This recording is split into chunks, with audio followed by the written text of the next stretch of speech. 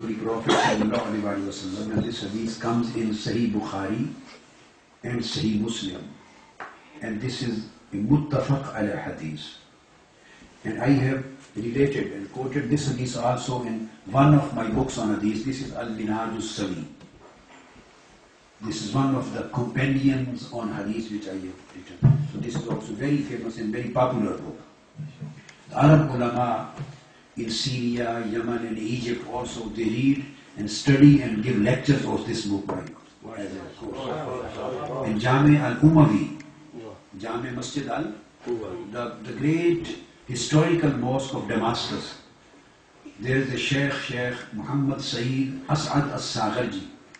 So there, there is full-fledged halaqa on fiqh and hadith and this course is, this book is taught there as a textbook.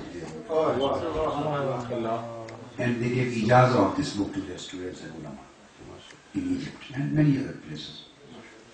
So I have mentioned these kind of hadiths also in this book.